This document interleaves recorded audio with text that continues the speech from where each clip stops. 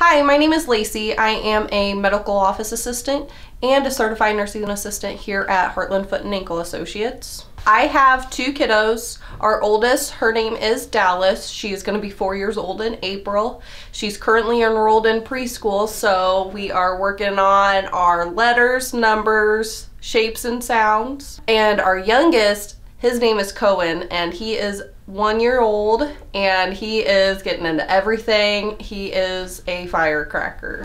And then I have a fiance. Our wedding is in May. His name is Tim and our house is full of love and laughter every night after we get off work. I always love talking about your kids, your grandkids, your nieces or nephews. So whenever you're in, I look forward to catching up with you.